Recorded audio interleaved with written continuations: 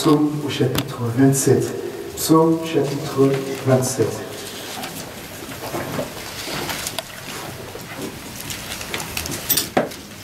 Nous disons la parole du Seigneur.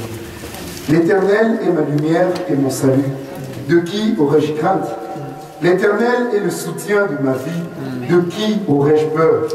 Quand des méchants s'avancent contre moi pour dévorer ma chair, ce sont mes persécuteurs et mes ennemis qui chancellent et tombent. Si une armée se campait contre moi, mon cœur n'aurait aucune crainte. Si une guerre s'élevait contre moi, je serais malgré cela plein de confiance. Je demande à l'Éternel une chose que je désire ardemment. Je voudrais habiter toute ma vie dans la maison de l'Éternel, pour contempler la magnificence de l'Éternel et pour admirer son temple. Car il me protégera dans son tabernacle au jour du malheur. Il me cachera sous l'abri de sa tente.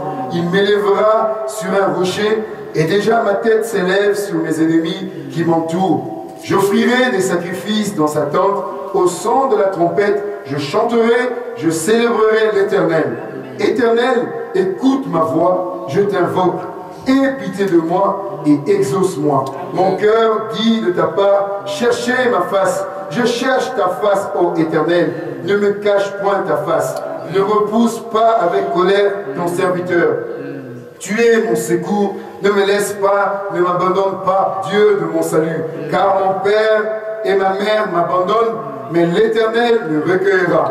Éternel, enseigne-moi ta voie. Conduis-moi dans le sentier de la droiture à cause de mes ennemis. Ne me livre pas au bon plaisir de mes adversaires, car ils s'élèvent contre moi de faux témoins et des gens qui ne respirent que la violence.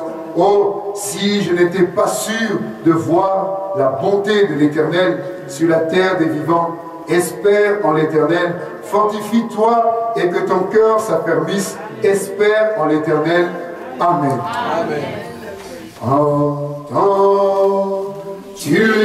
Le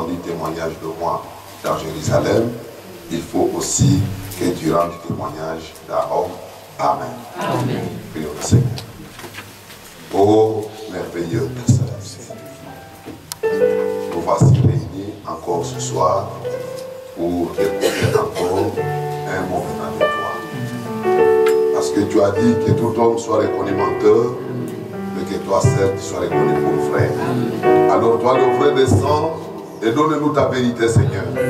Parce que tu as dit que nous connaîtrons la vérité et la vérité nous affranchira. Écarte-moi Seigneur parce que je suis menteur. Je suis homme, je suis pécheur. Mais toi descends maintenant et nourris ton peuple. Seigneur, nous n'avons pas besoin de longs discours, mais nous avons besoin du Saint-Esprit. Alors que le Saint-Esprit descend et qu'il puisse agir. Je remets, Seigneur, toute l'église entre mains. Notre cher pasteur pour cet amour, Seigneur, que tu as placé en lui. Bénis toute l'église et bénis, Seigneur, tous les événements. Nous te recommandons, Seigneur, tout cela au nom de Jésus-Christ. Amen. Vous pouvez vous asseoir. Je vous salue dans le nom du Seigneur Jésus-Christ. Je remercie encore le pasteur pour cette occasion qu'il m'accorde de pouvoir me tenir devant vous, peuple saint, peuple de Dieu. Chaque minute qui passe nous, nous rapproche du retour du Seigneur. Hier, on était très bénis quand nous étions à Gemma. Ah, c'était merveilleux. Nous avons écouté une parole très puissante. En tout cas, vous avez raté le repas d'hier. Ceux qui n'étaient pas là. C'était très merveilleux. Que Dieu vous bénisse. Je sais qu'on n'a pas beaucoup de temps. Mais une minute avec Dieu vaut plus que tout le temps monde. Et c'est pourquoi nous devons acheter le temps. Parce qu'il est plus tard que nous ne le pensions. J'avais chanté un cantique ici. Nous le chantons à l'Ingala, à Yesengo.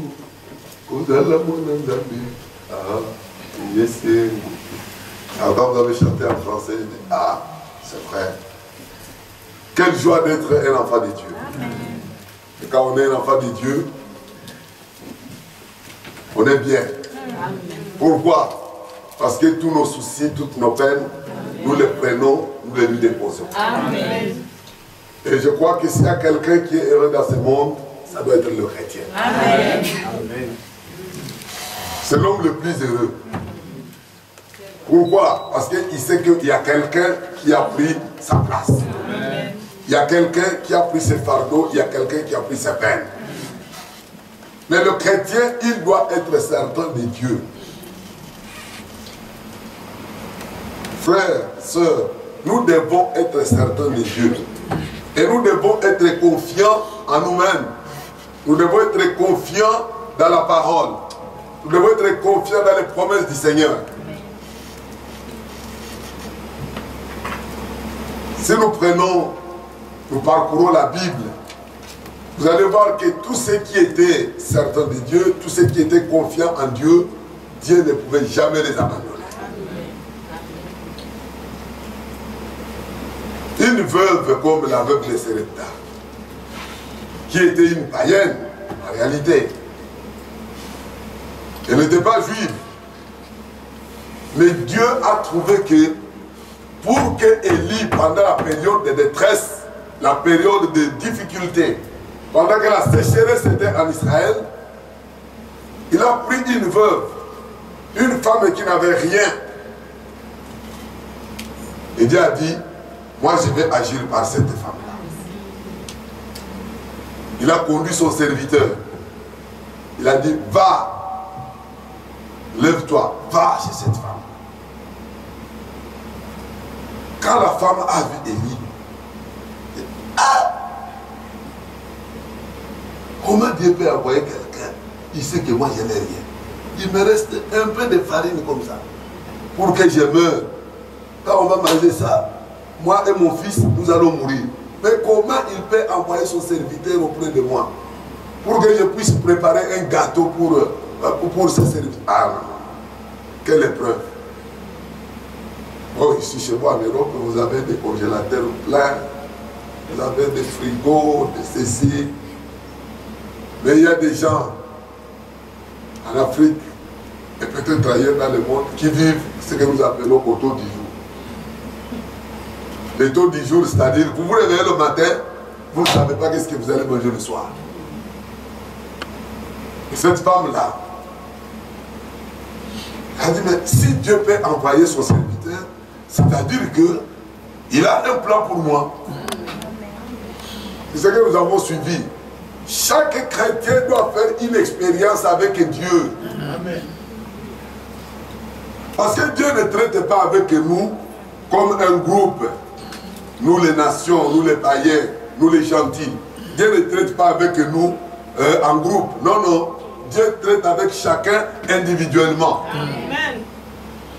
Même ici à l'église.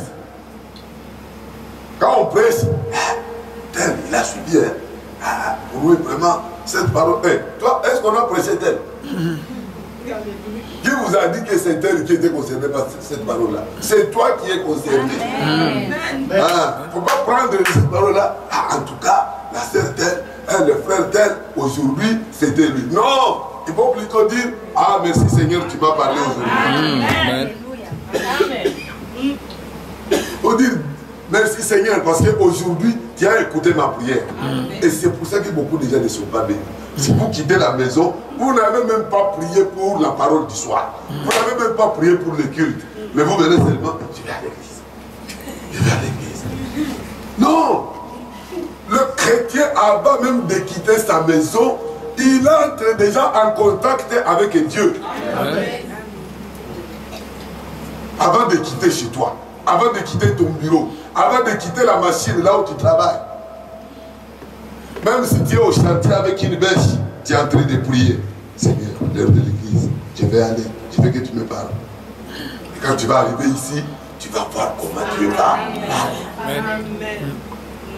Mais le problème, c'est que nous, nous voulons que vous quittez la maison, vous quittez là où vous étiez, vous entrez à l'église, vous chantez, vous dansez, vous rentrez. Non, on vient à l'église pour que Dieu puisse nous parler. Pourquoi Dieu doit nous parler? Parce qu'il doit nous façonner.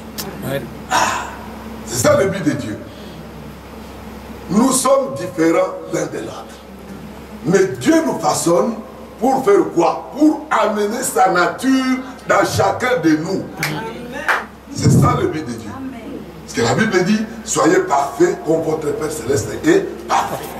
Donc, si Dieu sait que la perfection, nous pouvons l'atteindre, c'est lui qui va nous tailler à sa mesure. Amen. Ah. il ne va pas nous tailler à la mesure de tel, à la mesure de tel, tel que nous sommes là. Moi, je suis pour. Le, pasteur Léonard, il est lancé. Moi, je suis, je suis euh, de teint sombre. Il y a l'autre qui, qui est de teint clair. Donc, Dieu, dans son jardin, il a toutes les fleurs. Amen. Ah. Il a toutes les fleurs. Et nous ne devons pas nous comparer à quelqu'un d'autre. Non. Le chrétien se compare à la parole. Il ne se compare pas à, son frère, à sa soeur, à qui que ce soit. Non. Paul dit, soyez mes imitateurs comme je le suis de Christ. Amen. Cette femme-là, elle n'a pas regardé l'entourage. Elle n'a pas dit, mais il ne peut plus il n'y a plus de provision. Qu'est-ce que je vais faire? Mais quand elle a vu l'homme de Dieu venir chez elle, elle a dit, ah, ça c'est la visitation. C'est ça le problème. Notre problème aujourd'hui, c'est reconnaître la visitation du Seigneur. C'est ça le grand problème. Quand elle est arrivée chez elle, si elle était une femme charnelle, qu'est-ce qu'elle allait dire? Ah, ce sont les pasteurs là qui demandent les foufous. Il a faim. Maintenant, il vient chez moi. Il vient pour moi. Et tu vas dire qu'il a l'esprit de Dieu. S'il avait l'esprit de Dieu, il pouvait aller chez, chez les manières là qui a l'argent. Là où il y a des, stocks et des stocks. Non, Dieu ne traite pas comme ça. Quand Dieu veut bénir, il bénit ceux qui sont dans sa préscience. Vous pensez que c'était la seule veuve qui était là? Il y en avait beaucoup. Mais les bénédictions étaient dirigées vers, vers elle. Mais pour qu'elle puisse jouir de ces bénédictions, il fallait qu'elle reconnaisse comment Dieu est en train d'agir. Elle devait être certaine que ça c'est Dieu qui a envoyé cet homme. Et comme Dieu l'a envoyé, je ne veux pas résister à cette voie-là. Qu'est-ce qui s'est passé? Nous connaissons tous l'histoire. La femme a dit, ok, moi, ce qui me reste, ce n'est que de faire des petits gâteaux pour moi, pour mon fils, et puis nous attendons la mort. Mais comme tu insistes, ah, je vais faire ce que vous me recommandez de faire. Et quand elle a agi, selon l'ordre de Dieu, qu'est-ce que Dieu a fait? Dieu a rempli. Amen. Frère, toi tu veux les bénédictions, mais tu ne veux rien faire. Hein? Toi tu as déjà vu les bénédictions venir comme ça. Eh, Seigneur, bénis-moi. Seigneur, bénis-moi. Même Abraham lui-même, pour qu'il soit béni, qu'est-ce qu'il a fait? Il a travaillé. Amen. Les bénédictions sont liées au sacrifice. Sans sacrifice, il n'y a pas de bénédiction. Il n'y a pas de bénédiction. Le chrétien, il doit travailler pour son salut. Et tu dois être certain que Dieu a dit la chose, il va l'accomplir. Pourquoi tu donnes des promesses aux autres? Pourquoi? Les promesses sont pour toi. Les promesses sont pour l'épouse.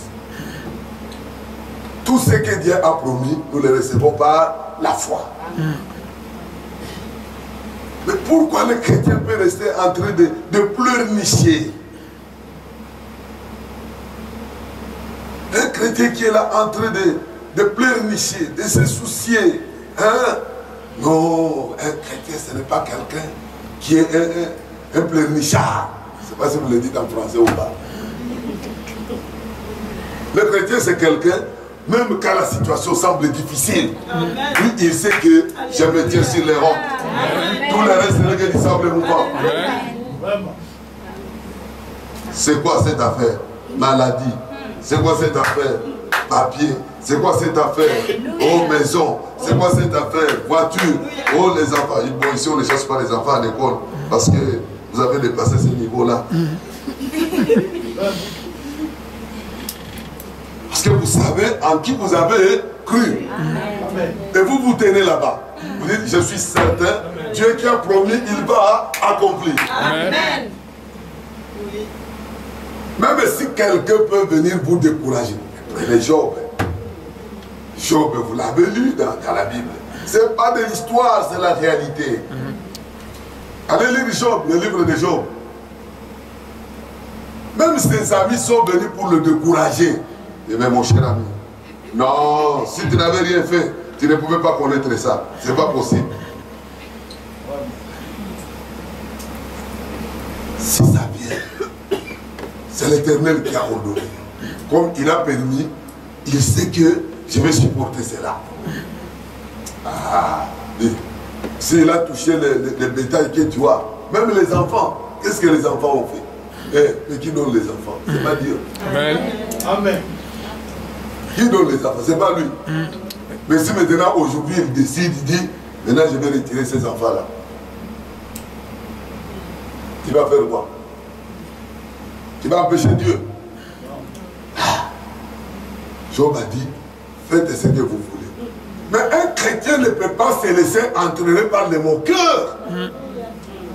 Mais quel est cet ami-là qui te décourage pour la voie du ciel Et ça, c'est un ami. Un ami qui vient pour te décourager.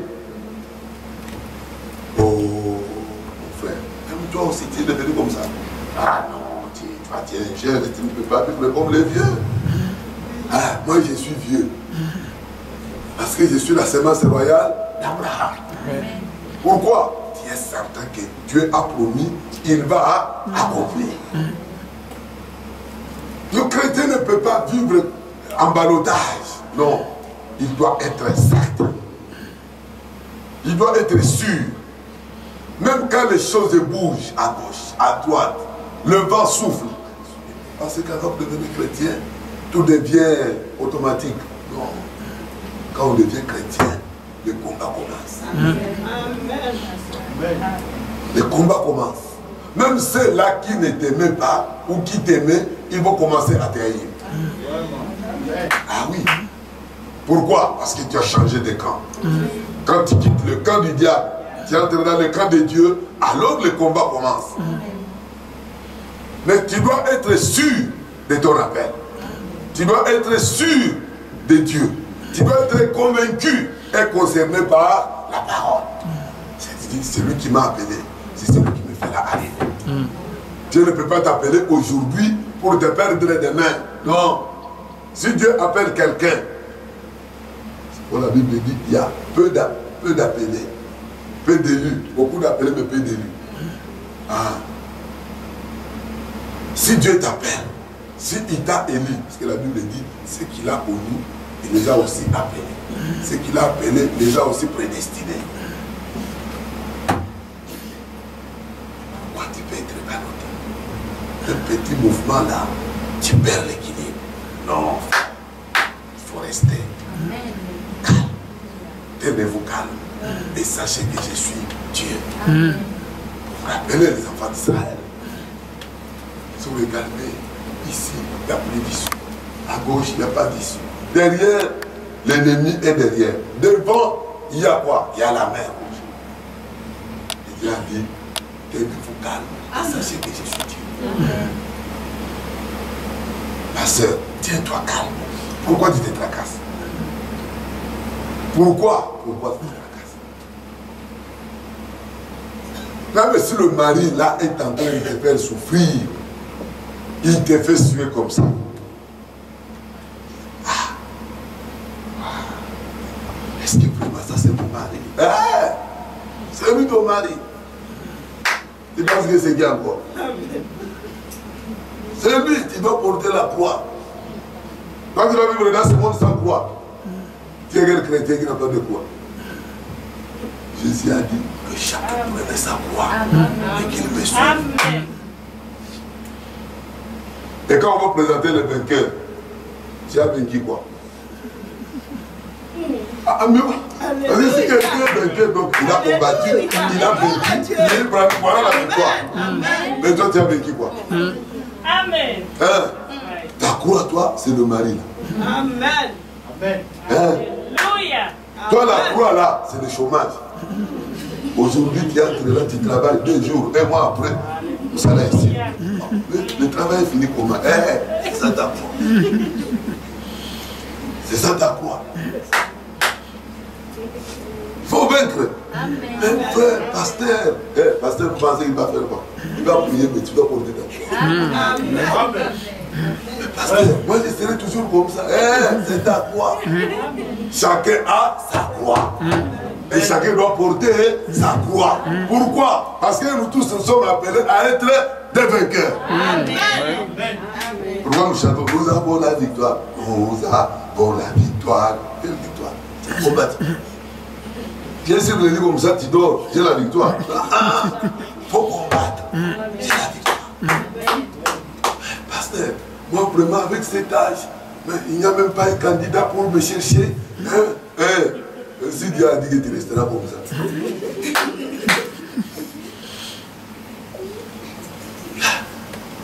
Mais il faut être certain de Dieu. Seigneur, tu veux que je reste comme ça? Donne-moi la force. Parce que moi-même, hein, je ne saurais pas. Il va venir, il va te fortifier. Il va te donner la force. Mais cette sœur-là, toujours joyeuse, oui, est toujours. Alléluia. Pourquoi? Elle est certaine de Dieu. Amen. Cette femme-là que Dieu t'a donné, une carie dentaire. Tu fais comme ça, achoppement. Tu fais comme ça, achoppement. Ah, mais vraiment, comment je suis allé chercher cette femme? Qu'est-ce qui s'est passé? Ah, Dieu a placé ça comme la croix sur ton passage. Mais il faut supporter. Il faut vaincre. Il faut vaincre. Ne commencez pas à la boxer. D'ailleurs, ici chez vous, si vous donnez une boxe à une femme, directement on appelle l'embila. Eh, vous êtes où? Venez ici, il y, a, il, y a, il y a un meurtrier ici. Si tu veux la boxer, tu vas la boxer avec la parole. Ah, c'est ça notre boxe, frère. Amen.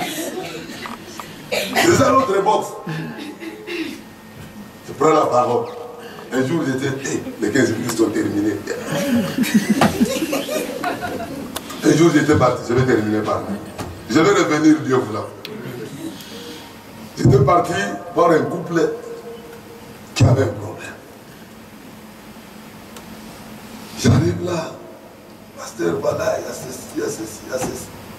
Quand les sœurs posent le problème, tu vas penser qu'elle est sainte, elle n'a rien fait. Elle vous parle là. Vous pensez qu'il n'y a rien, il n'y a rien. J'ai écouté. J'ai dit, ok. Alors, qu'est-ce que vous dites, frère? Le frère a commencé à sourire. Pasteur, vous savez, il y a ça, ça, ça, ça, ça, ça. Le problème, c'est que vous, les brebis là, vous les brebis, vous là, vous n'êtes pas facile, hein? Ah, les brebis, très compliqué. Quand j'ai examiné la chose, j'ai pris la parole. J'ai dit, voilà ce que dit la parole. J'ai dit, mais pourquoi toi? Si c'est ta femme, la Bible dit quoi? L'homme quittera son père et sa mère et s'attachera à sa femme. La femme de même et les deux deviendront une seule. Et si on compte tes côtes, toi, il y aura, il y a une côte qui manque parce qu'on a pris, on a formé la femme. Est-ce que si toi, tu peux prendre un coup, tu te donnes ici. Il prend un coup, donne-toi un coup ici. Hein, ne me regarde pas, donne-toi un coup ici. Si tu ne vas pas te sentir mal. Parce que si c'est ta femme, tu ne vas pas la frapper. N'est-ce pas? Hein? Est-ce que toi tu peux te frapper toi-même? Non, pasteur. Alors, pourquoi tu peux lui donner une gifle? Oh frère, pasteur, c'était la colère. Regarde, la Bible dit que la colère n'a pas dans la volonté de Dieu. Amen. Tu dois arriver à dompter ta colère. Et toi, pourquoi tu l'as provoqué Pourquoi toi tu l'as provoqué Toi. Parce que quand j'examine la chose, c'est toi qui l'as provoqué. Le frère vient du travail, fatigué, cassé. Tu ne sais pas combien d'humiliations il a trouvé là-bas. Il arrive encore à la maison, il trouve encore un calvaire.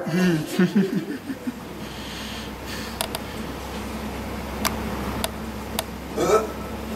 Alors que quand on entre dans la maison, on trouve sa femme. Elle doit accueillir son mari.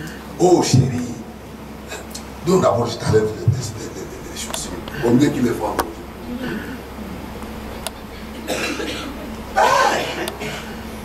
C'est ça. Est-ce que toi là tu es capable d'enlever la, la veste de ton mari et poser sur les, sur les, les, les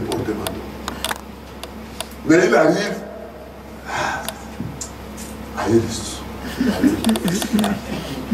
Mais j'ai dit, mais c'est vous qui créez la mauvaise atmosphère dans la maison. Vous êtes l'auteur ou vous êtes les auteurs de cette mauvaise atmosphère. Alors que la Bible dit que nous sommes les créateurs des atmosphères. Les chrétiens, nous devons créer l'atmosphère spirituelle. Nous devons appeler le Saint-Esprit dans la maison. Nous devons appeler la présence de Dieu dans la maison. De manière que quand quelqu'un entre, même le mauvais esprit, quand il tourne, il rencontre là-bas. Là, on ne peut pas entrer. Pourquoi? Parce que nous avons créé l'atmosphère spirituelle. Amen. Mais les maisons, c'est devenu des lieux de, de bagarres, de disputes. De... Non, frère. Et à cause de cela, les maladies viennent. Les difficultés viennent.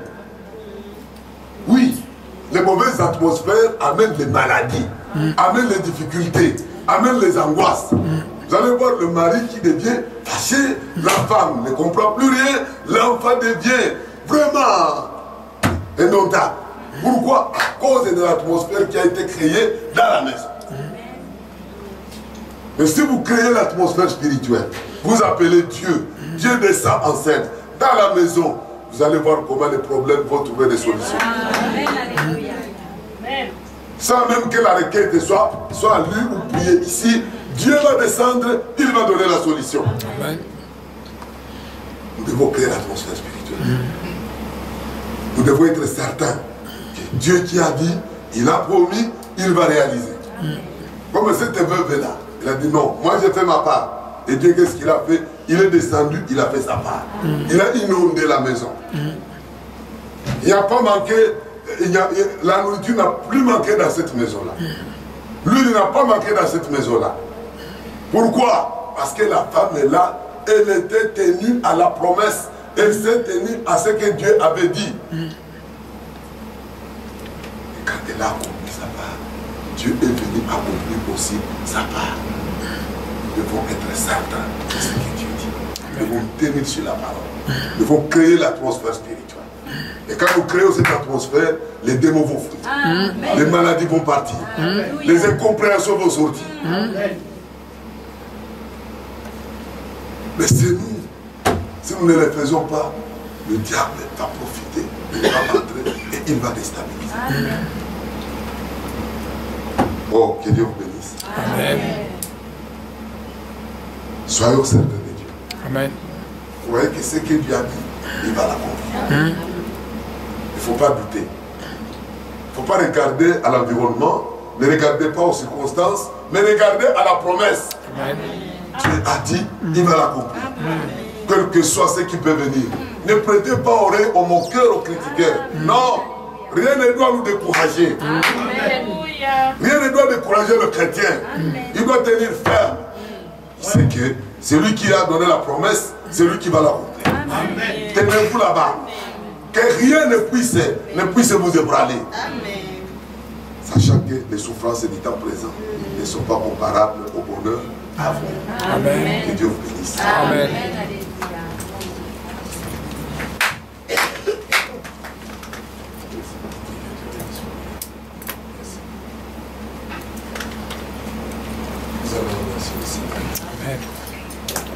Notre Père Céleste, Seigneur Dieu, nous inclinons humblement devant ton trône de grâce et de miséricorde. Nous te remercions encore ce soir.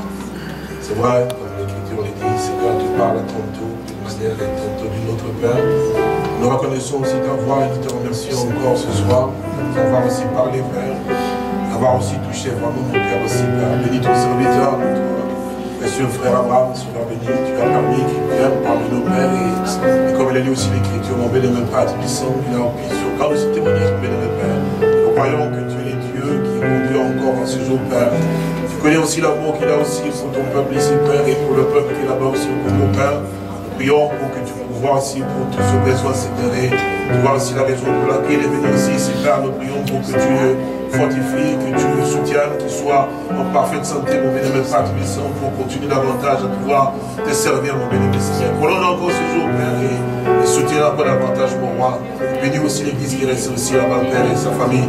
Nous te remercions pour ton Père et pour ton peuple encore ce soir qui a pu entendre aussi ta parole. Nous sommes heureux, Père. Nous savons que nous voulons être comme toi, tu le veux, Seigneur.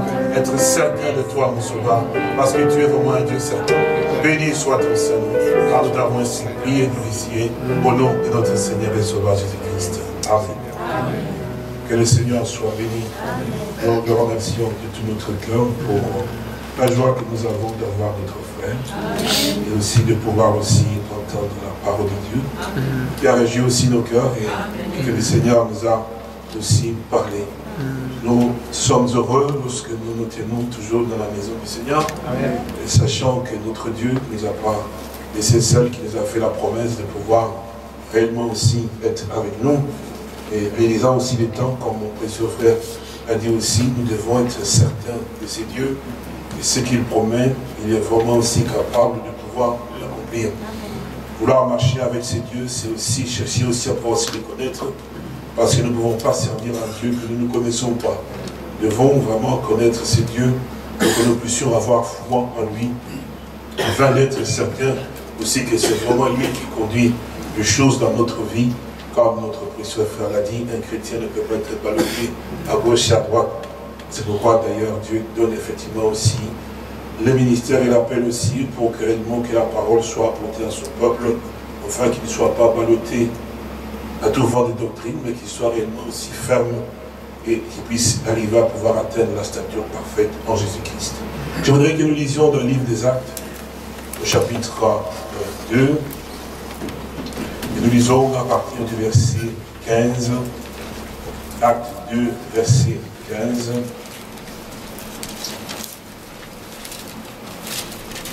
Le verset 15 dit Ces gens ne sont pas ivres comme vous le supposez, car c'est la troisième heure du jour. Mais c'est ici ce qui a été dit par le prophète Joël. Dans le dernier jour, dit Dieu, je répondrai de mon esprit sur toute chair, vos fils et vos filles prophétiseront, vos jeunes gens auront des visions et vos veillards auront des songes. Oui, sur mes serviteurs et sur mes servantes, dans ce jour-là, je répandrai de mon esprit et ils prophétiseront. Je ferai paraître des prodiges en haut dans le ciel et des miracles en bas sur la terre, du sang, du feu et une vapeur de fumée. Le soleil se changera en ténèbres et la lune en sang avant l'arrivée du jour du Seigneur, de ce jour grand et glorieux. Alors quiconque invoquera le nom du Seigneur sera sauvé. Amen. Amen. Nous voulons te dire merci, c'est vrai, ta parole que nous avons entendue, mon béni, Seigneur, aussi pour la lecture que nous venons de lire encore maintenant. Nous avons tous soif de toi, de pouvoir t'entendre tous les jours, Père. Parce que, comme l'Écriture le dit, que la foi vient de ce qu'on entend, de ce qu'on entend vient de ta parole à toi, Père. Tu nous fortifies par ta parole, mon sauveur. C'est pourquoi, continuellement, nous avons besoin de toi pour pouvoir réellement aussi, oh, de savoir ce que nous devons faire et comment aussi nous devons nous tenir aussi dans les choses qui nous concernent, bien Père Tubissant, tout ce que tu as, et à pouvoir réellement aussi déclarer, Père. Ouvre nos yeux pour que nous puissions voir, et nos cœurs pour que nous puissions croire, nos oreilles pour que nous puissions entendre, Père. Merci encore pour ce temps le moment, car nous avons ainsi prié au nom du Seigneur Jésus-Christ. Amen. Vous pouvez s'asseoir. Ces paroles ont été prononcées par l'apôtre Pierre et c'était effectivement pendant ce jour qui était un jour d'une très très grande importance puisque c'était donc la promesse que le Seigneur avait faite à ses disciples lorsque il est donc monté donc au ciel.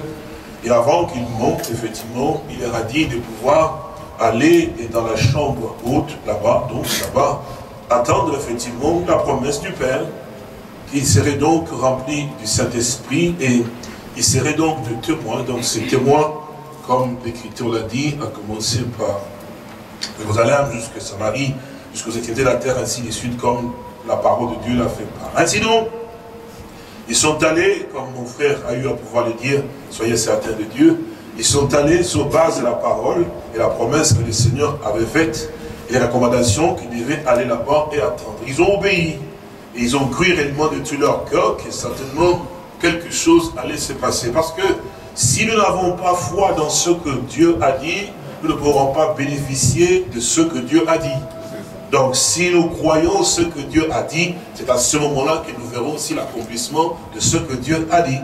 Ainsi donc, ils ont été là-bas avec cette foi, croyant que réellement que quelque chose allait donc se passer, parce que la puissance d'en haut, donc pour eux, ils ont simplement entendu, mais ils ne savaient pas effectivement ce que cela serait, comment les choses allaient réellement se passer. Ils sont simplement allés là-bas, comme le Seigneur l'a fait savoir, vous recevrez une puissance d'en haut, et donc le Saint-Esprit sur maintenant sur vous. Lorsque ils sont allés, ils sont donc restés dans l'obéissance à cela, alors Dieu, qui sait toutes choses, qui accomplit les choses comme il le veut, il est donc descendu ce jour-là comme un vent impétueux.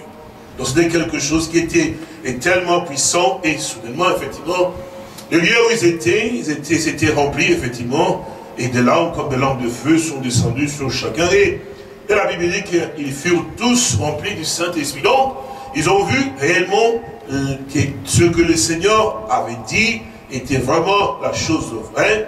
Et cela s'est accompli, effectivement, avec puissance, effectivement, puisque ce qui a eu à pouvoir se passer. On était tellement si puissant que lorsqu'il pouvait marcher, effectivement, eh ben, la, la, démarche avait changé et ututubé, effectivement. Donc c'était parce que c'était tellement rempli que quand ils ouvraient leur bouche, effectivement, pour parler, la Bible dit que bon, ils parlaient en langue, effectivement, donc tout était tellement aussi différent. Ils ont réalisé que c'était une puissance en eux qui réellement les enveloppait et les poussait à pouvoir maintenant agir non pas comme eux ils le voulaient, mais comme réellement ils étaient donc conduits par cette espèce. C'est ainsi que les gens qui étaient autour ont pu arriver à pouvoir aussi être secoués parce que ils ont vu, ils ont même entendu du bruit, ils sont venus pour voir, mais ces gens sont tous effectivement des hommes comme nous, des Galiléens, mais on les voit comme des gens qui sont ivres, effectivement, et, mais, quand on prête attention à cela, on entend effectivement que il parle effectivement de merveilles de Dieu. Ça veut dire qu'il y a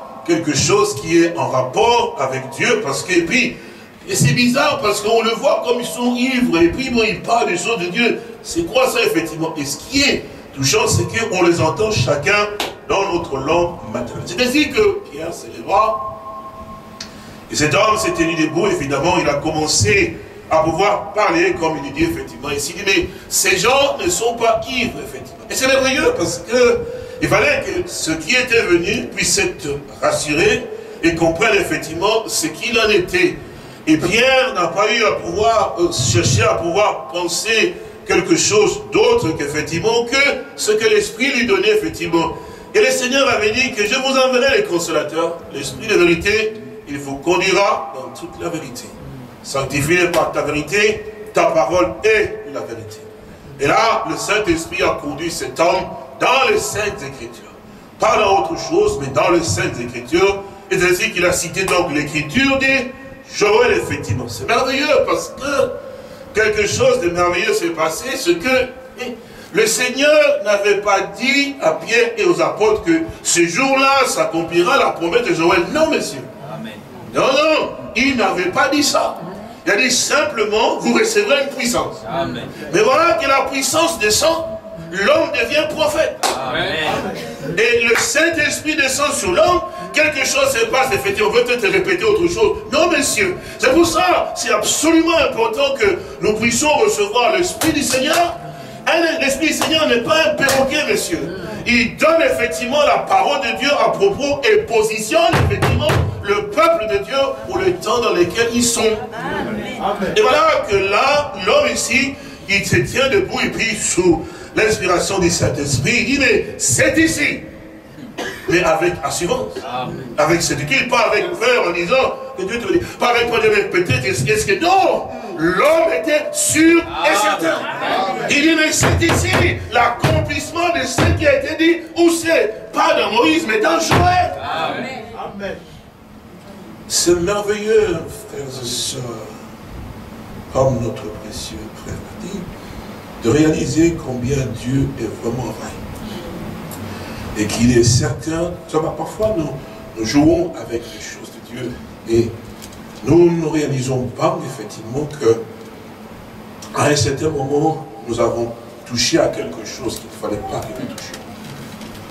Parce que les choses qui concernent Dieu, doivent être effectivement considérés dans leur contexte et surtout avec respect, parce que Dieu veille sur sa parole pour pouvoir l'exécuter en réalité, parce qu'il est l'auteur de la parole. Et, et, quand nous laissons réellement Dieu prendre le contrôle de chacun de nous, effectivement, nous serons alors à ce moment-là certains de la conduite véritable de l'Esprit du Seigneur, et il nous positionnera aussi pour que nous puissions voir clairement les choses dans le temps et comment Dieu... Vous direz, mes frères, vous ne comprenez pas, c'est comme du charabia, mais juste pour vous montrer un exemple. Cet homme, Siméon, était quelque part. N'est-ce pas vrai? Et l'enfant qu'on a amené était aussi quelque part. Siméon n'avait pas connaissance. Mais comme Siméon était conduit par l'Esprit du Seigneur, la Bible dit que le Saint-Esprit était sous lui. Et le Seigneur avait fait la promesse à Siméon. Mais quand on a amené l'enfant, lui, il ne savait pas. Mais c'est le Saint-Esprit qui prend Siméon, là où il est effectivement, et il lui fait passer tous les enfants. Il y avait beaucoup d'enfants. Il pouvait se tromper. C'est sûr et certain. Mais c'est le Saint-Esprit qui lui a fait passer tous les bébés. Jusqu'à l'amener devant ce bébé-là. Et quand il est arrivé, effectivement, il a pris entre ses mains, vous connaissez donc. Alors là, nous revenons ici. Pierre donc, il dit, mais c'est ici donc, verset 16, ce qui a été dit par le prophète Joël, dans les derniers jours, dit Dieu, je répandrai de mon esprit sur toute chair, vos fils et vos filles prophétisons. C'est merveilleux. Hein? Et vos jeunes gens auront des visions, et vos vieillards auront des songes. Oui, sur mes serviteurs et sur mes servantes, dans ces jours-là, je répandrai de mon esprit et ils prophétiseront. Je ferai paraître des prodiges en haut dans le ciel et des miracles en bas sur la terre. du sang, du feu et une vapeur de fumée, le soleil s'échangeant en ténèbres et la lune en sang, avant l'arrivée du jour du Seigneur, de ce jour grand et glorieux. Alors, quiconque invoquera le nom du Seigneur sera donc sauvé.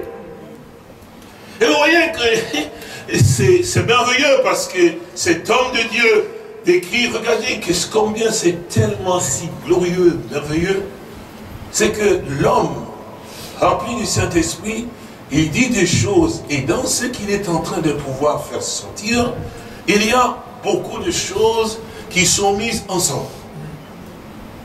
Si c'était un homme naturel, je pense que dans ce naturel, il n'allait pas faire des déclarations comme cela. Parce que, regardez d'abord une chose, Il dit ici, nous lisons ici au verset, il dit, vos, vos fils et vos filles prophétiseront. Vous suivez? Vos jeunes gens auront des visions et vos veillards auront des songes. Oui, sur mes serviteurs et sur mes servantes, dans ces jours-là, je répandrai de mon esprit et ils prophétiseront.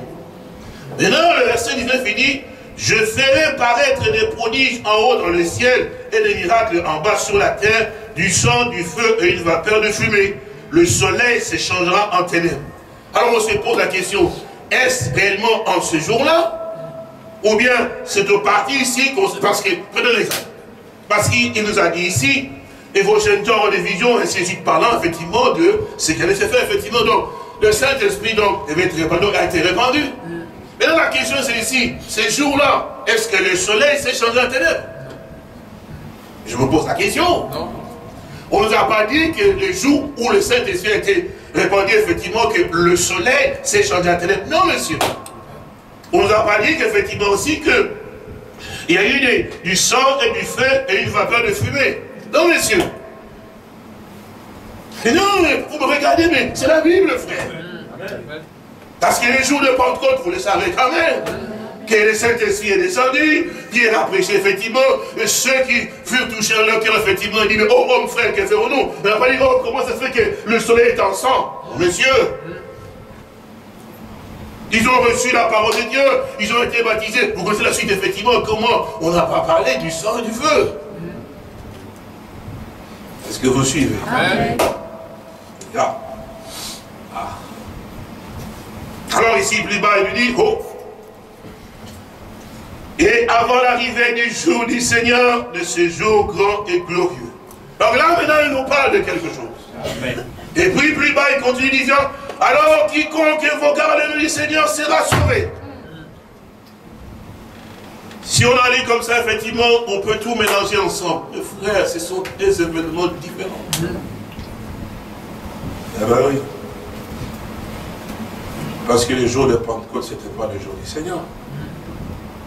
Est-ce que vous suivez? Alors il dit, alors quiconque invoquera le nom du Seigneur sera sauvé.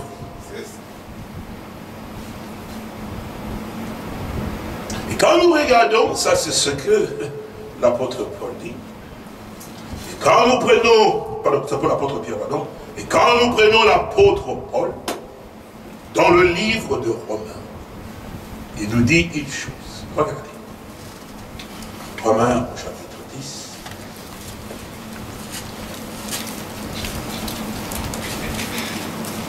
Regarde. Romains chapitre 10 verset 10, il dit, car c'est en croyant du cœur qu'on parvient à la justice, et c'est en confessant de la bouche qu'on parvient au salut, selon ce que dit l'Écriture. Vous suivez? Quiconque croit en lui ne sera point confus. Elle mais il n'y a aucune différence en effet entre les juifs et les grecs, puisqu'ils ont tous un même Seigneur qui est riche pour tous ceux qui l'invoquent. Verset 13. Car Quiconque invoquera le nom du Seigneur sera donc sauvé. Amen. Et c'est ce que l'apôtre Pierre nous l'a dit ici, non? Alors, quiconque invoquera le nom du Seigneur sera sauvé. Maintenant, Paul nous dit effectivement, mais comment invoqueront-ils celui en qui ils n'ont pas cru? Vous suivez? Amen. Alors il continue en disant, mais comment croiront-ils en celui dont ils n'ont pas entendu parler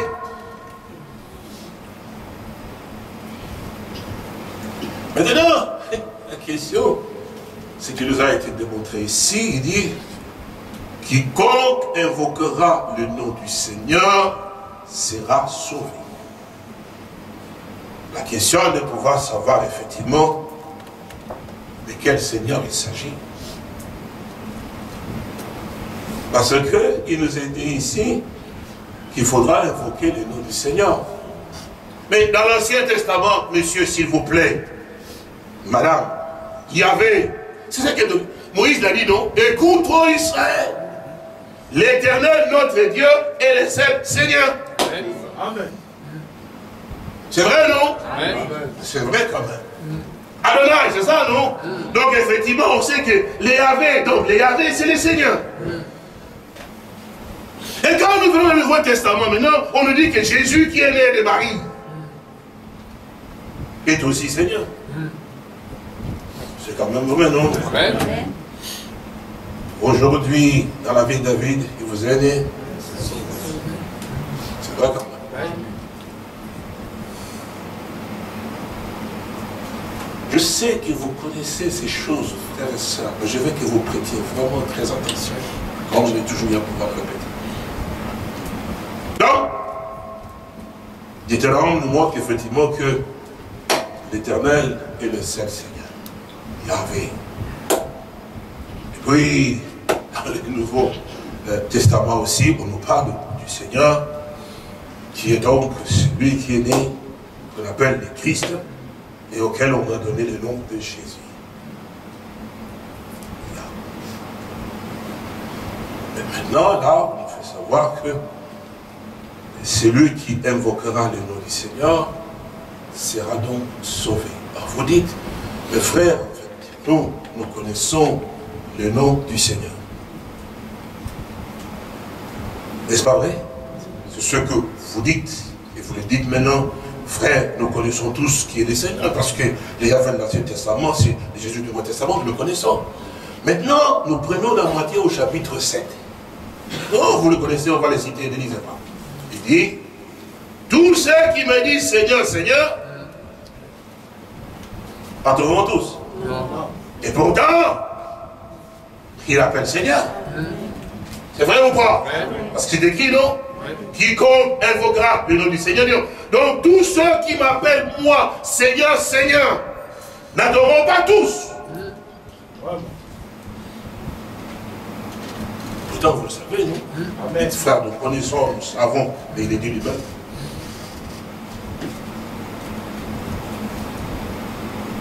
Voyez-vous, frères et sœurs, le salut n'est pas une chose à laquelle on peut arriver à pouvoir penser qu'effectivement, que bon ben, euh, je suis sauvé. Comme ça, effectivement, je suis sauvé. Non. Quand on parle d'être sauvé, on est vraiment sauvé. Amen. Sauvé, ça veut dire être sauvé. Quand tu es sauvé, toi-même. Regardez, par exemple, euh, tu marches sur la route, et puis tout d'un coup, effectivement, euh, une voiture qui vient évaluer, effectivement, et qui a failli, effectivement, t'emboutir, et tu as fait un geste, effectivement, et la voiture est passée de justesse. Qu'est-ce que tu dis? Ouf Je suis vraiment sauvé, j'ai failli passer. Donc, il y a ton cœur qui, donc tu réalises que j'étais quelqu'un qui était mort. C'est ça. Et vraiment, je ne sais pas, si c'est comme si quelque chose m'a poussé en arrière, s'il n'y avait pas ça, je serais mort. Donc tu continues à dire, non, non, non, non, non, qu'est-ce qu'elle est mal? Mon Dieu, j'ai failli mourir. Mais je suis sauvé. Oh, merci Seigneur. Donc tu réalises que quelque chose s'est vraiment passé. Amen.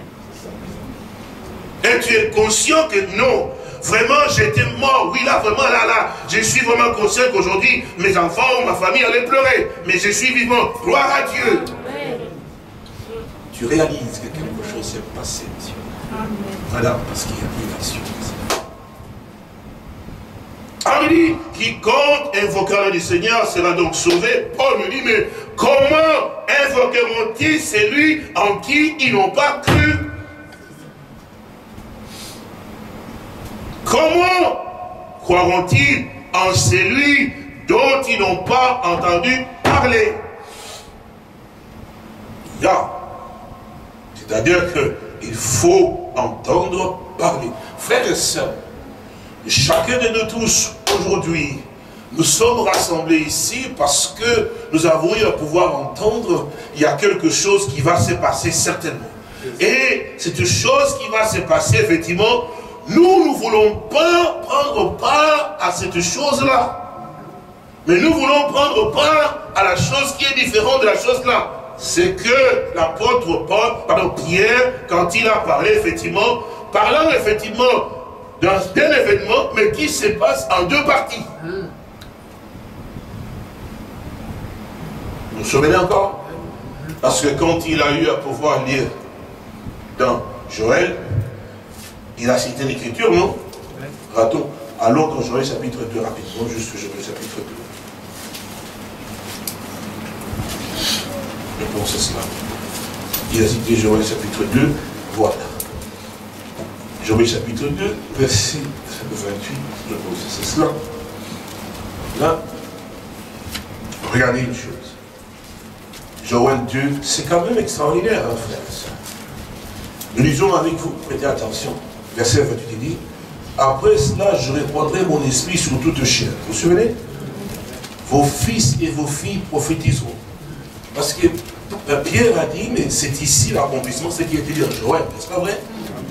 Vous vous souvenez Bon, je veux que vous preniez chapitre 2 ici, et puis votre main sur acte chapitre 2. Acte 2 ici, donc chapitre 2, acte 2 ici, vous mettez votre main sur ici. Nous avons vu à vous, hein, verset. Alors, verset 2, verset 28, il dit, après cela, je répandrai mon esprit sur toute chair, vos fils et vos filles prophétiseront, vos veillards auront des songes, et vos jeunes gens des visions. Vous vous souvenez Donc, il a, il a eu à pouvoir citer cela au verset, effectivement, 18, je pense que c'est donc verset, verset, verset 17. Je rappelle aussi sur vos fils et vos filles prophétiseront, vos jeunes gens auront des visions, et vos veillards auront des songes. Et puis, il continue ici, il dit, même sur, verset 29, dans Joël 2, même sur les serviteurs et sur les servantes, dans ces jours-là, je répandrai mon esprit.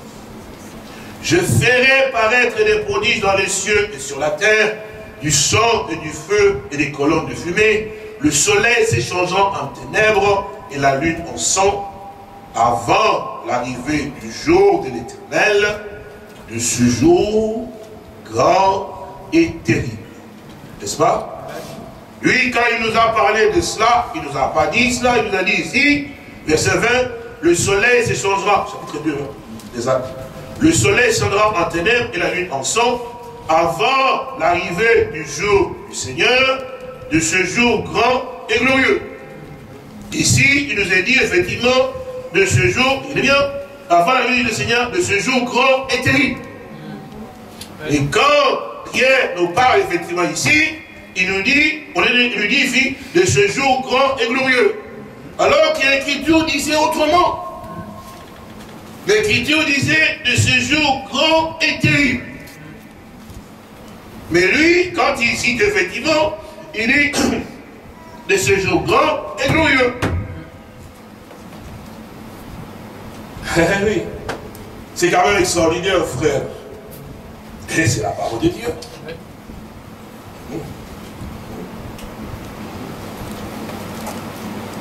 Parce que, comme je disais tout à l'heure, chacun de nous est quand même conscient, en réalité, par rapport avec euh, ce que l'apôtre Paul vient de dire ici, pardon, l'apôtre Pierre, pardon, il dit, parce que l'Écriture nous a fait savoir que c'était un jour grand et terrible.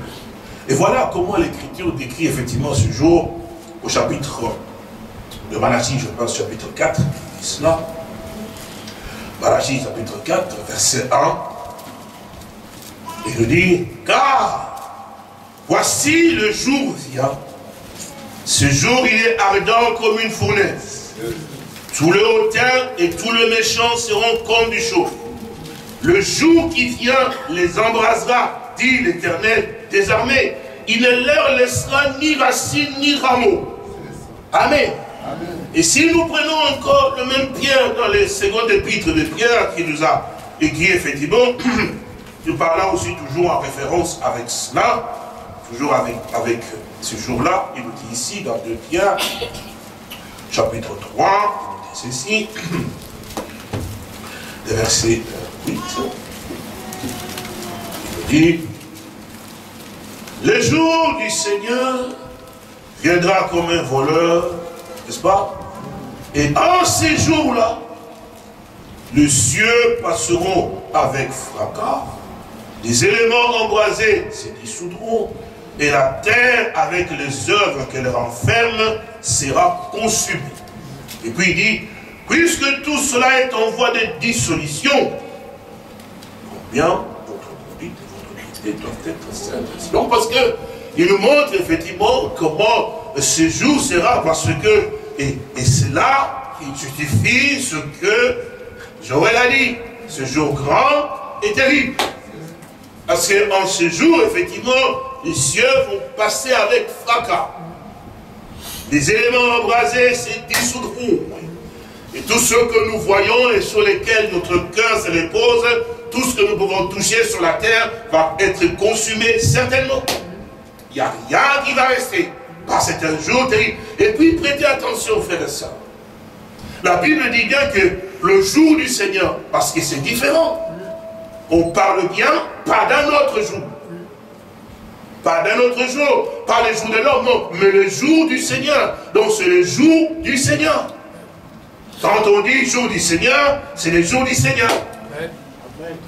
Et en ces jours-là, les cieux passeront avec fracas et la terre avec les éléments qui le renferment, effectivement. Est-ce que vous suivez? Les cieux passeront avec fracas et la terre, parce qu'il nous éclaire encore. Vous allez, j'ai pris que Dieu vous ait. il nous éclaire encore dans 2 Pierre, effectivement, au chapitre 3, pour que nous puissions comprendre, mon frère ma soeur. 2 Pierre, chapitre 3, il nous dit une chose ici. Regarde, il nous dit cela, je pense un peu plus haut.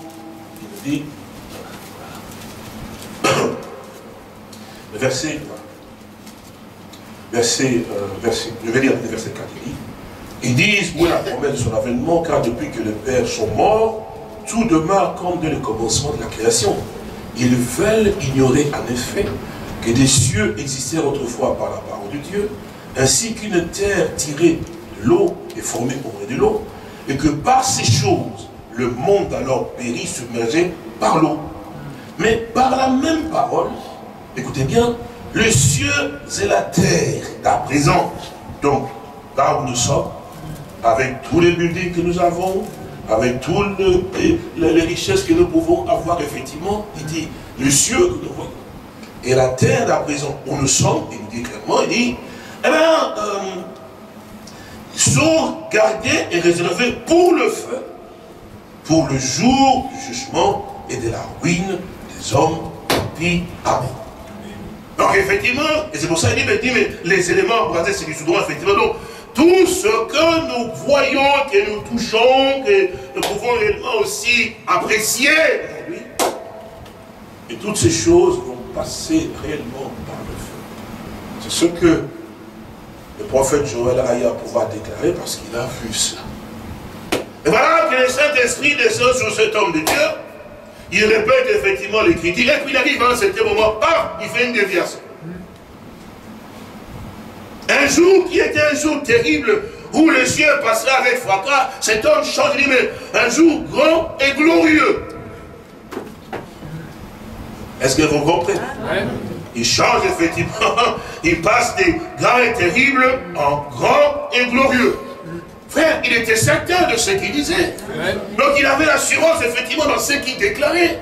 Donc peu importe ce que les gens pouvaient penser, cet homme savait ce qu'il disait. Il dit un jour grand, avant la vie du jour grand et glorieux. Là il a dit, avant la vie du jour grand et terrible.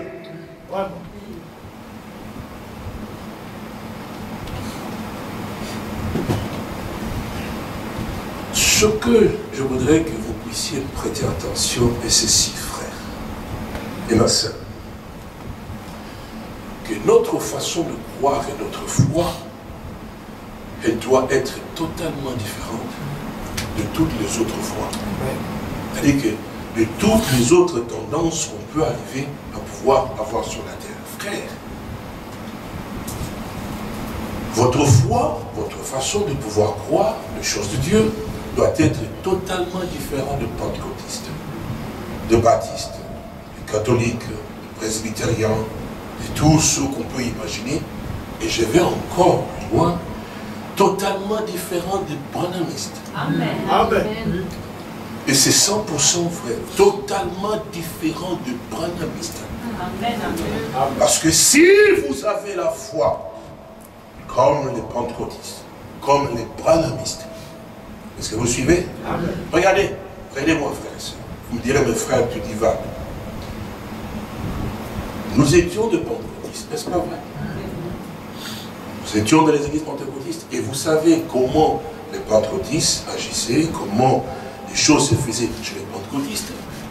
Quand nous sommes sortis de chez les pentecôtistes ou chez les baptistes et que nous avons cru à la parole et que nous avons reconnu ce que Dieu a fait, qu'est-ce qui s'est passé effectivement, frères et sœurs? Nous avons reproduit exactement ce que nous avons abandonné. Les églises que nous avons quittées, on est sorti effectivement, on a gardé effectivement le même fond. Sûr et certain. Mais on a donné effectivement. Mais c'est ce que nous pouvons voir dans les scènes écritures. Je vais vous le montrer tout à l'heure, effectivement. On a gardé effectivement le même fond, même façon de faire les choses, effectivement. Rien n'a changé. Mais le nom a changé. Que nous croyons au message, effectivement. Mais le message n'a jamais eu de fait sur nous. Par contre, les églises qu'on a quittées, oui, monsieur. Parce que comment Nous faisons les choses comme les pentecôtistes, comme les baptistes, certainement, c'est vrai.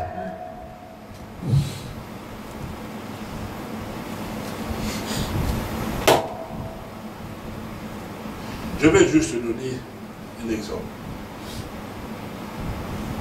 Il y a une prédication que le prophète a prêchée en disant rendre un service à Dieu en dehors de sa volonté. Vous le connaissez? Ok. Alors là, il donne un exemple en disant, vous voyez, ne soyez pas bousculés, hein, je vais pas Il dit, David a fait venir effectivement ben, l'arche qui était chez les Philistins. Il a mis l'arche sur les chars de bœuf. Et puis, l'arche avançait, et puis Isaac était à côté de lui.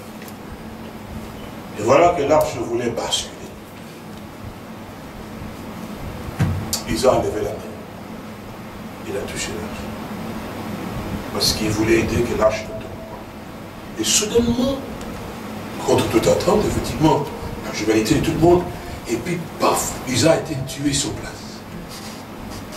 Là, David devient juste. Mais qu'est-ce qui s'est passé? Ah, nous avons fait une grosse erreur. Nous avons ramené effectivement l'as, mais nous n'avons pas consulté l'éternel d'abord, parce que la manière dont on a procédé, effectivement, c'était bien, mais en fait, nous avons quelque chose parce que nous n'avons pas fait les choses selon la volonté de Dieu, selon la parole de Dieu, parce que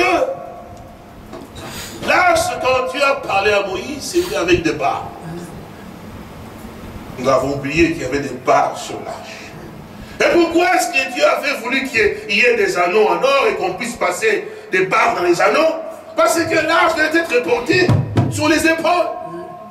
Et qui devait porter l'âge sur les épaules? Ce n'était pas n'importe qui, c'était les Lévites. Donc, la famille des Lévites avait démontré ce qu'il était pour l'œuvre de Dieu, comme Moïse a dit, à moi ceux qui sont pour l'éternel. Vous vous souvenez Donc, Dieu, depuis ce temps-là, nous avait donc consacré des Lévites pour tenir effectivement l'arche et des épaules. Amen. Donc, quand Dieu ne t'a pas appelé en tant que Lévite, tu ne peux pas toucher l'arche. Non. C'est vrai, non Dans les dénominations, qu'est-ce qu'on a trouvé? Des écoles bibliques, des ceci et des cela, n'est-ce pas vrai? Quand ils ont la tête bien bourrée, remplie, effectivement, il faut les églises partout. N'est-ce pas vrai? Au sein n'a jamais, ceci n'a jamais été la volonté de Dieu, monsieur. C'est juste. Amen. Amen. Et quand des frères ont eu à pouvoir recevoir le message, ils sont tous devenus des docteurs, Des docteurs. des docteurs, monsieur. C'est ça le problème. Eh oui, oh oui, il fait ça, il exagère. C'est vrai, il fait ça, il exagère. C'est. Que Dieu te bénisse, pasteur. Et vous pouvez courir à gauche et à droite. Nous allons revenir vite parce que dans ce que nous avons vu de jouer. À gauche et à droite, effectivement. C'est pourquoi j'ai dit, frères et sœurs, vous allez mourir. Quand vous, frères, quand vous, sœurs, vous allez dans un endroit où un homme, et surtout que tu as la vérité, qui n'a pas été appelé de Dieu, qui n'a eu aucune expérience surnaturelle avec Dieu, ah, c'est- c'est quand même dans ce message Amen. que ce même prophète dit, mais si quelqu'un n'a pas l'expérience comme Moïse a eu dans le buisson ardent, il ne peut pas se tenir derrière la chair. Vous l'avez entendu, monsieur. Vous l'avez entendu, madame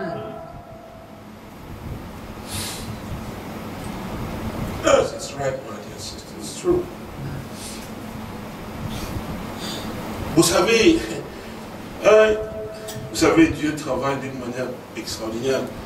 J'ai eu une bien-aimée sœur Dorcas qui est venue dans le. Et de la manière dont le Seigneur a eu le pouvoir, Dieu a accordé la grâce de pouvoir comprendre les choses pour nous ce temps ici. Alors, là dans son cœur, et puis il s'est dit, Seigneur Jésus, il doit y avoir un changement.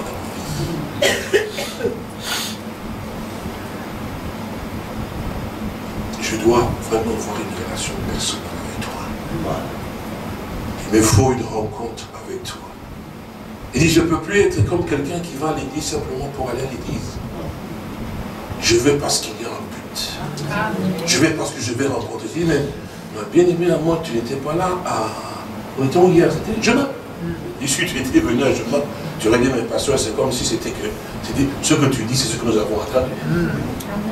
Tu dis, c'est que tu dis, c'est que nous avons entendu. Il dit, j'ai besoin de pouvoir, vraiment, quand je viens, je viens parce que je veux rencontrer Dieu, pas quelqu'un, pas que voir la je n'ai pas besoin de dire, mais c'est ce que nous avons entendu. Dieu travaille. Il dit, il nous est absolument. Je remercie Dieu parce qu'il il travaille le cœur pour que les gens deviennent conscients. Comme le pasteur l'a dit aussi. Ce matin. Conscients réellement de ce que nous. Donc, nous réalisons qu'effectivement, que là, il a réalisé qu'il avait fait quelque chose qu'il ne voulait pas faire. C'est pourquoi il fallait qu'on cherche Obédédom, effectivement, qui était un Lévite, où on devait déposer donc lâche, effectivement. Alors nous revenons. Alors il dit, mais alors quiconque invoquera le nom du Seigneur sera donc sauvé. C'est quand même toujours la même Bible ici qui nous dit, nul ne peut dire que Jésus est Seigneur si ce n'est par le Saint-Esprit. Autrement, ce n'est qu'une répétition. Comment peux-tu aller répéter simplement quelque chose que tu as entendu de quelqu'un pour pouvoir avoir le salut? Ce n'est pas possible, monsieur. Juste un exemple pour que vous puissiez voir clairement. Le sept fils de Sheba. Vous vous souvenez? Ils sont allés devant cet homme qui était possédé. Et au nom de Jésus qui prêche pas. Ils ont bien quand même cité le nom de Jésus, non? Au nom de Jésus que Paul prêche, nous t'ordonnons de sortir de cet homme. C'est dans le nom de Jésus, non? Pas au nom de Jésus, mais celui que Paul prêche. Ils ont répété ce qu'ils ont entendu. Au nom de Jésus, parce que Paul prêchait, et prêchait- chassait les démons au nom de, de Jésus, il prêchait le nom du Seigneur Jésus-Christ. Et ils ont entendu aussi, effectivement, ils dit, Hum, donc ces noms-là, il a la puissance de chasser les démons, effectivement. Ils ont entendu. Et puis il dit, mais on va aussi répéter cela. C'est ça le perroquet, monsieur. Au nom de Jésus que Paul prêche, nous vous ordonnons de sortir de cet homme.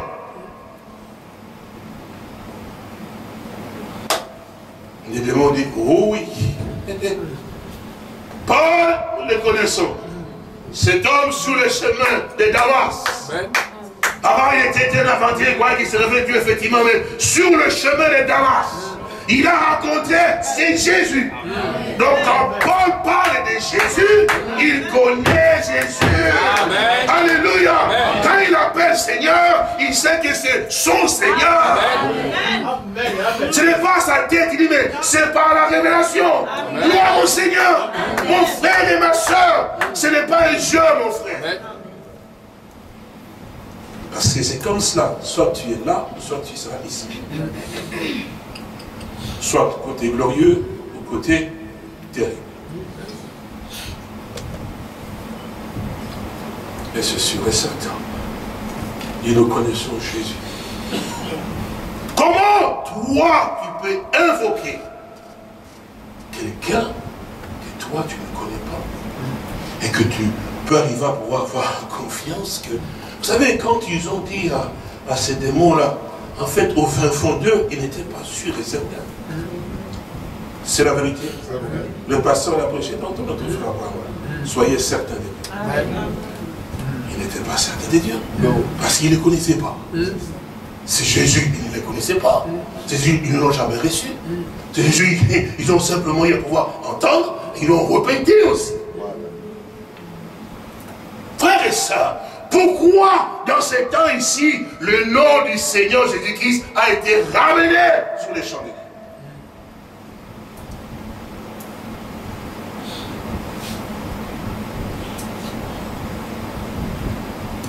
C'était pas parce que c'était pas parce que les, les, les, les, presbytériens ne parlaient pas de Jésus.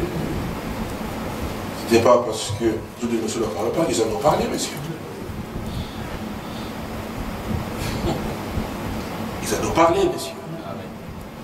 Mais c'est Jésus dont ils ont parlé est un Jésus mort. Est-ce que vous suivez? Mais quand le temps est arrivé, où réellement le Seigneur a voulu démontrer ce qu'il était, lorsque sa parole était prêchée et son nom. C'est pourquoi vous voyez toujours, vous entendez toujours, cet homme de Dieu dit toujours, la parole qui le maintenait et qu'il était toujours comme un slogan pour lui, Jésus-Christ le même hier, aujourd'hui et demain. Pas quelqu'un d'autre. Jésus-Christ. Le même. Hier, aujourd'hui et éternellement. Parce que il a fait savoir aussi effectivement que ce que j'ai vous ai enseigné aussi, eh bien, comme l'expérience qu'il a pu avoir de l'autre côté du rideau, comme vous le savez, on lui a dit que tu seras jugé sur la base de ce que tu as prêché aux hommes. Vous vous souvenez? Il a répondu en disant, mais est-ce que Paul sera jugé? Est-ce que Pierre sera On a dit, oui, Paul sera jugé.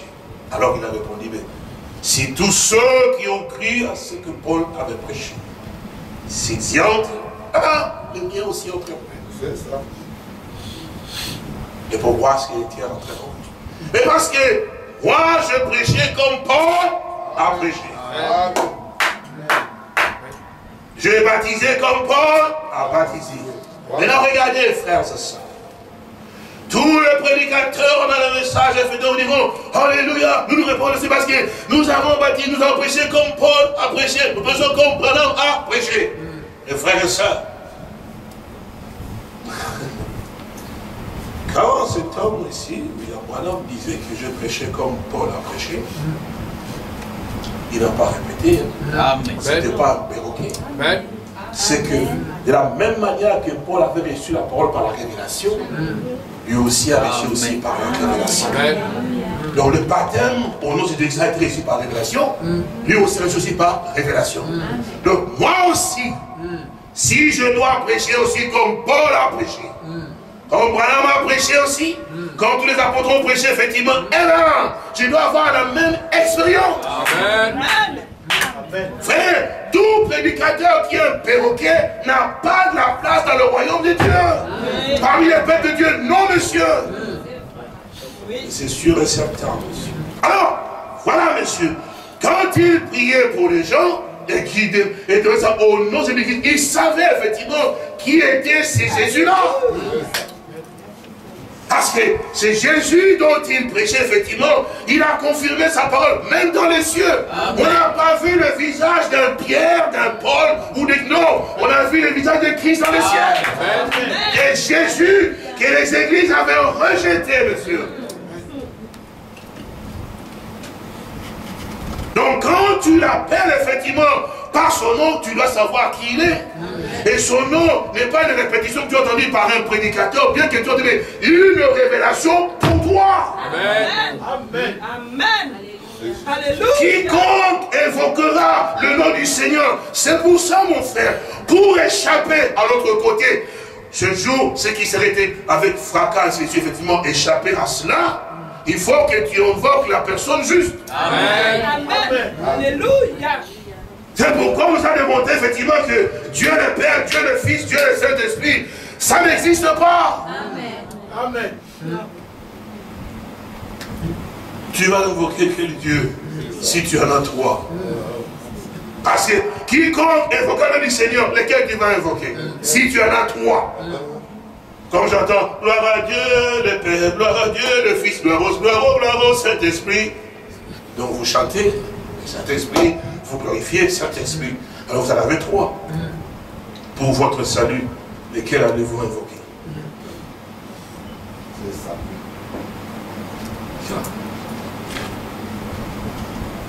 Il faudra que vous sachiez lequel allez-vous invoquer. Le Seigneur a dit, tu as caché ces choses aux sages, aux intelligents. Tu les as révélées aux enfants. Mon frère et ma soeur, tu ne peux pas arriver à pouvoir passer de l'autre côté si toi, tu n'as pas reçu la révélation de celui qui te sauve. Amen. Tu parles bien de Jésus, mais c'est Jésus, c'est celui que tu as entendu parler. N'est-ce pas vrai? Mais est-ce que c'est Jésus que tu as réellement reçu? Parce que je reçois celui dont je sais qu'il a le pouvoir d'agir pour moi ainsi. Quand il dit, mais celui qui croit en moi ne mourra point, tu dois être sûr et certain. Amen que j'ai reçu, c'est lui pour qui, même si mes yeux se ferment, la mort n'a plus de pouvoir pour moi. Tu dois être certain. oui, monsieur. oui, madame. Quiconque invoquera le nom du Seigneur sera donc sauvé. Donc, parce que le soleil s'échangera en ténèbres. La lune en sang. C'est sûr et certain. Mais avant que ce jour-là n'arrive, monsieur,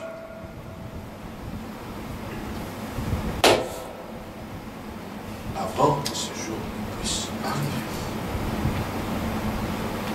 Il faut que Dieu puisse faire quelque chose. Vous voyez, le grand problème que j'ai toujours eu à pouvoir dire, mettez-moi un peu de votre J'ai toujours eu à pouvoir dire et répéter ici, frères et sœurs, ne dites jamais, ne répétez jamais, dites jamais, Oh frère, nous sommes dans le message. Ça ne signifie rien. Qu'est-ce que ça veut dire que c'est une sœur du message? C'est un frère du message. En fait, c'est comme si tu dis, c'est un frère pentecôtiste et une sœur aussi pentecôtiste. C'est normal. Ça veut dire quoi dire un frère dans le message et nous sommes dans le message? Moi, je ne suis pas dans le message. Non, monsieur. Moi, je ne suis pas dans le message. Vous savez où moi je suis? Eh bien, moi je suis dans la parole. Amen. Je ne pense pas que William Branham était dans le message. Non. Amen. Non. je ne pense pas que c'est. Mais c'est vrai. Il a, j'ai jamais entendu cet homme dire, moi ici je suis dans le message. Non. Amen. Ce sont les prédicateurs qui vous ont conduit en disant, vous avez le message. Personne ne peut faire. Message de quoi? Je ne peux pas être dans le message. Non, je suis dans la parole. Parce que Dieu est dans sa parole. Le message me conduit dans la parole. Amen. Oui, Amen. Oui, monsieur. Oui, madame. C'est 100% Amen. Amen. Parce que quand je vois dans les scènes d'écriture, je n'ai jamais entendu dire, oh, les gens, effectivement, comme les chrétiens, les chrétiens de temps de Pierre, de temps de, de étaient, étaient les chrétiens dans le message. Et les temps aussi d'Irénée étaient les chrétiens dans le message. Et puis, et Arthur, c'était les chrétiens dans le message. Jamais. Et pourtant, il y a des messagers, des messagers, effectivement. Mais nous avons dit, je suis dans le message. Non, monsieur. Dieu a ramené son peuple dans la parole. Amen. Amen. Amen. ça, votre langage doit changer. Amen. Oui. Parce que vous insultez les seigneurs. Si, quand on te pose la question, tu dis je suis pentecôtiste, ça dit que c'est un nom blasphématoire. Ajoutez aussi effectivement dans le message. Bien sûr, monsieur. Parce que c'est pas normal. Je suis en Christ. Je suis chrétien. Et je crois la parole de Dieu. Et Dieu a parlé autant du soir pour me conduire dans la parole. Alléluia. Mon frère et ma soeur. Nous devons être sanctifiés, mon frère. Dans nos pensées, notre cœur, notre âme et notre premier pas, nous devons être différents. Amen. Alléluia. Notre fond de quoi est différent Parce que nous, nous sommes une épouse parole. Oui. Alléluia. Oh. Ça, c'est la reine, monsieur. Et quand Dieu regarde, il dit, la voici, la mienne. Parce que Dieu qui est la tête est la parole. Donc le corps, nous sommes aussi la parole. Même nature. Amen. Oh, mon premier frère a dit, mais frappe-toi toi-même. C'est vrai que ça peut rire, mais si vous pensez très bien, c'est profond. Amen. La tête, c'est la parole le corps des bralamistes. Vous vous éjettez vous-même. C'est vrai, vous reprend. Vous pensez que ce sont les choses faites, il faut faire très attention. Amen. On est rentré dans un mouvement pour se dire, oh, oh, nous avons le message, monsieur, monsieur, madame, nous ne sommes pas dans le message. Nous ne sommes pas dans le message, nous sommes dans la parole de Dieu. Parce que le message nous conduit à entrer dans la parole. Où c'est où nous étions. Nous étions où effectivement, mais où était Ève? Amen. Alléluia. Ève était où Ève était dans Adam. Amen. Amen. Nous, nous étions nous. Amen. Il nous a élucés. Quand ça? Quand nous avons cru? Non Les affaires du monde. Il nous a élucés en Christ. Et Quand on est venu sur la terre, on est né à différents endroits. Mais lorsqu'il est venu, il dit quand je serai levé, j'attirerai tout